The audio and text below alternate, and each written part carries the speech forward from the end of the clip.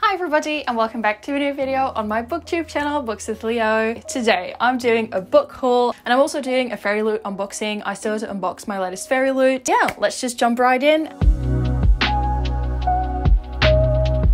I just realised you can see me in the reflection. Hope it's not bothersome. Anyway, let's start with the fairy loot because that's what I'm most excited about. Okay, so just to be completely transparent, Fairy Loot sent this to me because I'm a Fairy Loot rep, so I unbox their boxes every month. I'm really excited about it. I love all of their boxes. They're a fantasy subscription box. And yeah, it's always a fantasy book and it comes with a lot of goodies. And this month, the theme is Greek mythology, so that's really, really cool. Um, so yeah, let's see. Ooh, uh, I've popped the box down here so I can grab stuff out of it and show you. This is the spoiler card. It always shows everything that's in the box, so I'm not going to look at that now. And then I also already saw this print that I got out of the box and it's really pretty. I believe this is Annabeth and Percy from Percy Jackson. So really, really pretty stuff. Then the first thing I see is this wooden, oh, it's a spatula. Oh my god. I'm so excited about this. It's so pretty. It's got this engraved thing on it. Okay. Look at that. It's engraved. I really like that we got a spatula because this is so useful. I can't wait to flip some things and cook with this. For those of you who don't know, I love cooking, so this is really great. It says, Did you know food is infinitely more scrumplicious when you're in love? Not sure what scrumplicious means. Is this a bilingual thing? Or did they make up a word? I don't know. Anyway, this is a really pretty spatula. Okay, I get overly excited about these boxes, so that's just something you have to get used to. Next thing I see, they always have this paper packaging. Um, it's this little thing, little envelope. Oh, it's a patch okay, that's cool. It's not totally my style, but it's definitely really pretty. It's a Medusa patch. I love how they always have a theme and this whole Greek mythology theme. So cool. I usually don't really like Greek mythology books. Like, I liked Percy Jackson, but Circe wasn't really for me. We'll see, but I do like the theme and I like the aesthetic of it. So, I'm still really pleased with the theme of this box. Next thing I noticed is this little box, and it says Cupid and Psyche. It's got this sort of Roman theme on it, or well, Greek, obviously, not Roman. okay, let's open the box. I always have such trouble with opening boxes. Okay, it's wrapped.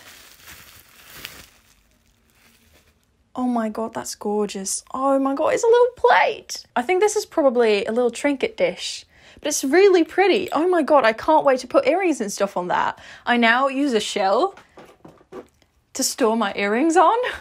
So this is actually really nice. Although I, I love my shell too. That's gorgeous. Yes, really happy with this. Ooh, uh, then we have the tarot cards for this month. They always come with pretty tarot cards and they're usually character cards, so it's characters from books. I never know what characters they are, and if I do actually know the characters, I never recognize them straight away because I'm dumb. The art is always so gorgeous. I just noticed another little envelope, and I know there's an enamel bookmark in here or a metal bookmark. And the metal bookmarks Fairy does, they're always so pretty. Oh my god, it's pink. Oh my god. I think it's going to be really pretty. One, two, three. What? That is so. I'm speechless. I know this looks like so ridiculous, me over exaggerating, but like, no. I'm not sure if you can see, but I'll make a close up. And it's also got a tassel and it's brown. Honestly, it's so beautiful. This makes me want to do animal bookmarks for my web shop. I'm not even I'm not even sure if that's possible, but god, that is so beautiful. Jeez. Oh, I'm in love with it. and it's even got this little see-through bit here Oh, that is just so, so, so pretty. Oh my god. I'm really excited about this one. Okay, let's see. Oh my god, this is the box of my dreams. I have to say, I think this is the favourite box I've received from them so far because now I notice that there's also a book sleeve in it, and book sleeves in subscription boxes are one of my favourite things. So I think yeah, this is a Circe quote from Madeline Miller. But in a solitary life, there are rare moments when another soul dips near yours as stars once a year brush the earth. That is so pretty. I love the design, and I'm always so delighted to receive another book sleeve because they come in so handy when you do a lot of traveling. Not that I do that right now, but when you go places and you take a book, and then you can protect your book, and you can also use them as a pillow with your book in them. Maybe it's only me who does that, but yeah. Really happy with this book sleeve. It's so pretty. We've also gotten to the book. I think I already know which book it is because there's one big release that's Greek mythology themed. So I'm guessing it's that one, but maybe I'm wrong. Probably not. I've not been spoiled, but still, let's see. Oh, yeah, I think it's that one. Ooh, oh, it's got a totally different cover. They kept the one thing on the cover that I didn't really like, which was the eye. like I like the Medusa that's normally on the cover, but they have deleted that. anyway, it's still really, really pretty, and I've just noticed the spine. That is honestly gorgeous. These sprayed edges. Oh, look at those sprayed edges. That is really, really pretty as well. Gods! FairyLoot, you amaze me every time. Okay, so this is Lore. All I know about this book is by Alexandra Bracken, and I haven't had a lot of luck with Alexandra Bracken's books in the past, but I think this is about a sort of Greek mythology X Hunger Games. That's all I know. I might be way off, but that's all I know, and I like to go into books a bit blind, so yes, it looks really, really gorgeous. Oh my god, marble. That's so pretty. And let's check the bareback. Oh, look! It's also got art, and this is also foiled. Each time they spoil me with beautiful books. That's the only way I want to be spoiled. so let me just read the flap to you guys. Do you call that that in English? I don't know. Anyway, in modern day New York, a murderous game is about to begin. The Agon. Murderous games. Ooh. Every seven years, for one week only, Zeus punishes the gods by forcing them to walk the earth as mortals, savagely hunted by the descendants of ancient bloodlines all eager to kill a god and seize their divine power and immortality. That sounds so good. After her family was brutally murdered by a rival line, Lore was fled. I'm pronouncing all these Greek names horribly, probably. Turning her back on the Agon's cruel promises of eternal glory. For years, Lore has honoured her parents' memory by doing one thing surviving. For years, she has pushed away dark thoughts of revenge until now. As the next game dawns, Lore finds Athena gravely wounded on her doorstep. The goddess offers her an alliance against their mutual enemy and a way to leave the Agon behind forever. But Lore's decision to rejoin the hunt will come at a deadly cost, and may not be enough to stop the rise of a new god with the power to destroy all of humanity. okay, so there's murder, there's games, there's gods needing to walk the earth as mortals, this sounds like a dream come true. Okay, I can't wait to read this. This sounds really good. Alexandra Bracken always has these really good plots, and then when I come to reading them, I kind of dislike them a lot of the times, the actual book. Same with her time travel series, so fingers crossed, I actually like this one. Okay, so then there's a few things left in this box. I got the little bookmark that comes with a book then this beautiful final art print, and it's always got an author's letter on the back. And then we have the Fairy Scoop, which is like a little magazine with author interviews and more stuff, information. Always really nice, like a read alongs they do, it's all in the little pamphlet.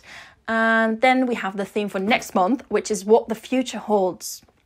Ooh, a sci-fi. Thank you so much again to FairyLoot for sending me these boxes, and let's now get into the rest of the book haul. So I recently went on a little book buying spree again, and I bought a couple of books. I know this book haul is not as big as they've been sometimes in the past, but I thought it was nice because now I could combine it with my FairyLoot unboxing. So the first book that I bought was Good Girl, Bad Blood by Holly Jackson. I wanted to say Holly Black by Holly Jackson, and this is the sequel to A Good Girl's Guide to Murder, which I read last week, I think, and I was really, really loving it. The Good Girl's Guide to Murder is basically a book about this girl called Pippa Fitz-Amobi, and she's doing her final essay of her secondary school on this murder that happened in her hometown, and she's bound to prove that the guy who everybody thinks did it didn't actually do it, but he was wrongfully well, he wasn't convicted, but he was wrongfully judged because he also died. And people are all blaming him, but he was never actually convicted. So she is on a mission to prove that he did not do it. And then in this second book, I think it's like standalone-ish in the sense that her story continues, but this is about a different case where a girl from her hometown goes missing. So this is like a whole new case in this series. I love that there's these books coming out again when it where it's like a new case per book. That is one of my favorite things in crime fiction.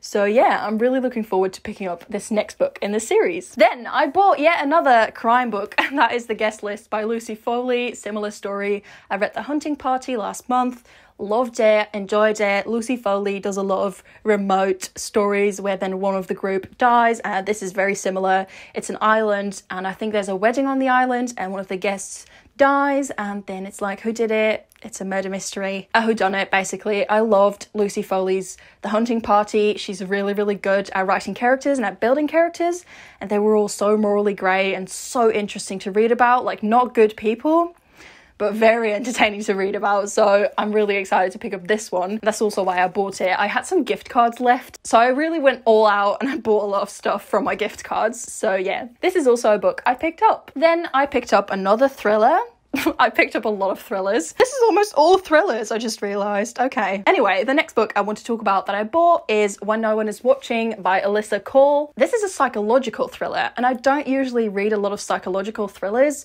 because I'm not stable. like, I, I, I struggle with mental health sometimes, and like when it gets too much into your head, it's not good for me. But I've heard that this one is really manageable and has a lot of humor as well. So all that I know, it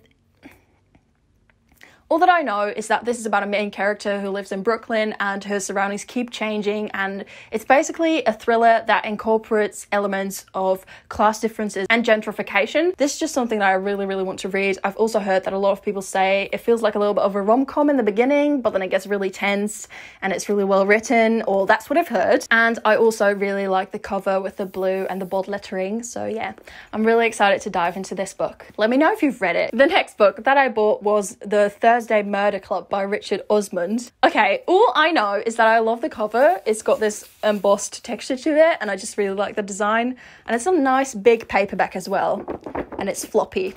We love a good floppy paperback. But what I like about this one is that it's about old people in a caring home and they're looking at cold murder cases. That sounds so good. It's basically supposed to be really funny and also really cool to read about and like for fans of true crime and crime fiction. This sounds like such a fun read that's also about crime. So, really cool. Can't wait to pick it up. We're done now with the thrillers, which is really great because the next book that I picked up is Everything I Know About Love by Dolly Alderton or Everything I Know About Parties, Dates, Friends, Jobs, Life. Love?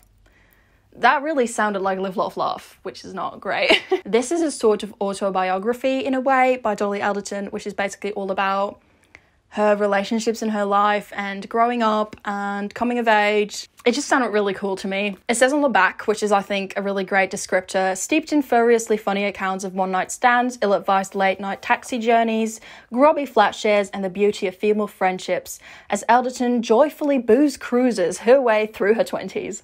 Well, I'm in my 20s and I could use some guidance and also some fun stories to read, so that's why I picked this up. I already read a little bit when I was visiting my parents, so I read a little bit on the train. I loved it. I felt like this would be a new favourite, so I'm really, really excited excited to further read on in this book. We've come to the last book, which is great because my battery is running empty, and that one is The Vanishing Half by Brit Bennett. I've heard all of BookTube and their grandmother talk about this book. I don't mind because the cover is stunning and the story sounds so impactful and so important and like something I really want to read. My best friend just picked up this one as well, so we can all read it now and discuss it. I can't wait. Can we talk about the gold foiling?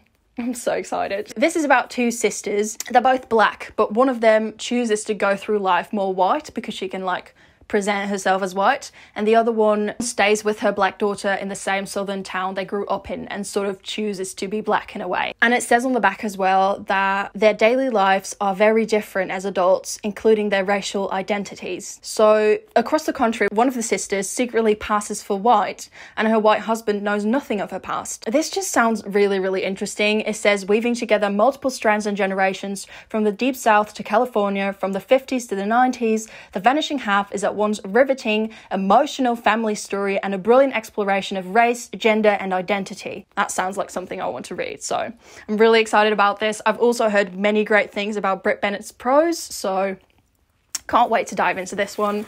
And yeah, a really nice addition to my book collection, I think. So, those were all the books and also my Fairy Loot unboxing. I really hope you guys enjoyed this video. Don't forget to give it a thumbs up and subscribe and let me know in the comments down below whether you've read any of these books and whether you've enjoyed them. I always love to hear from you guys. And yeah, I'll see you all in my next video.